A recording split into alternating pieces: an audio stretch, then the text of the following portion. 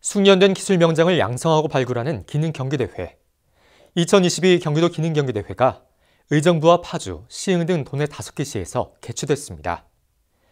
갈고 닦은 기술을 쏟아내는 열정 가득한 현장을 이슬비 기자가 다녀왔습니다. 최고의 기술 명장을 가리는 2022 경기도 기능 경기대회. 그동안 수없이 연습하며 익힌 실력을 마음껏 펼쳐 보이는 참가자들. 진행 중인 종목은 산업제어 종목인데 각종 제어기기와 자재를 조립 가공하고 배관과 배선을 연결 설치하는 작업이 한창입니다. 초반에 좀 실수를 하는 것 같아서 다행히도 속판 회로 작업하면서 그걸 다 따라잡아서 상과제 때 제 실수 없이 잘한다면 좋은 결과 얻을 수 있을 것 같습니다. 또 다른 경기장. 이곳에선 CNC 밀링 종목이 진행 중입니다. 밀링 머신을 가지고 각종 기계 부품을 정밀하게 가공하는 작업입니다.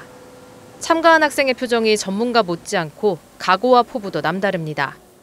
손으로 깎는 저런 걸 하는 건데 이 과제가 약간 실력이 많이 보일 수 있는 그런 과제인 것 같아서 메달은 일단은 무조건 딸 것 같아요. 이외에도 모바일 로봇 시스템을 제어하고 설계하는 모바일 로보틱스 등 미래 산업을 이끌 종목들도 시선을 사로잡습니다.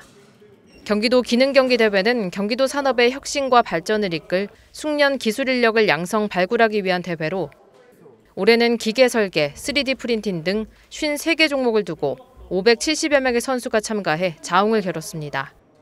이번 대회에서 선발된 160여 명의 선수는 다가오는 8월 열리는 제57회 전국 기능경기 대회에서 경기도 대표로 출전할 기회를 거머쥐게 됩니다. 경기지TV 이슬비입니다.